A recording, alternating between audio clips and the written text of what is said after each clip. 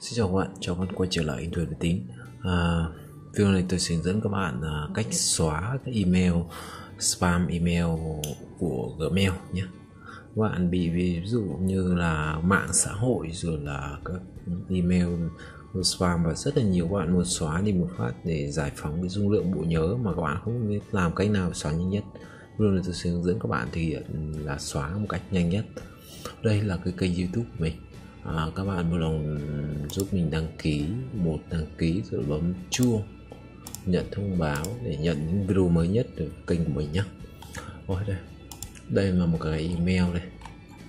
Nó ở đây có à, uh, 1644 mail có thể là nhiều hơn các bạn có thể gặp nhiều hơn nữa ví khoảng 8.000 mail cho các bạn xóa xong mỗi tab nó có 50 cái thì rất là lâu.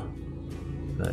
nhưng ở đây tôi hướng dẫn chỉ chờ trong khoảng 30 giây đến 1 phút để các bạn xóa xong hết nhé để thực hiện thì ta sẽ vào tab, các bạn muốn xóa nhé ở đây là cái tab mạng xã hội đây. Thì ta sẽ tích vào đây. Bước mấu chốt đây nhé. tích vào đây. Nó sẽ đây, mấu chốt đây nhé. tất cả năm cái cuộc trò chuyện là chọn. Bây giờ ta sẽ chọn vào đây. Chọn tất cả 1644 cuộc trò chuyện. Đấy, là bắt buộc phải chọn hết nhé bấm vào đây. Rồi, tất cả các cuộc trò chuyện đã được chọn. Đó, bây giờ chọn bây ta sẽ xóa bấm vào cái thùng rác này thì xóa.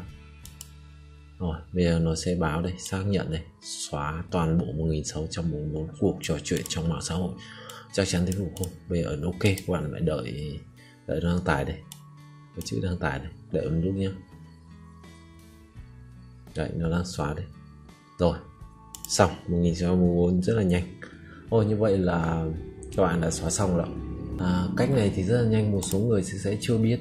Nhưng mà nếu bạn biết rồi thì bạn à, tham khảo cách này nhé bạn chưa biết tham khảo cách này nhé Ôi, video mình xin tạm dừng ở đây. Các bạn nhớ like chia sẻ video và đăng ký kênh ủng hộ mình nhé chào các bạn.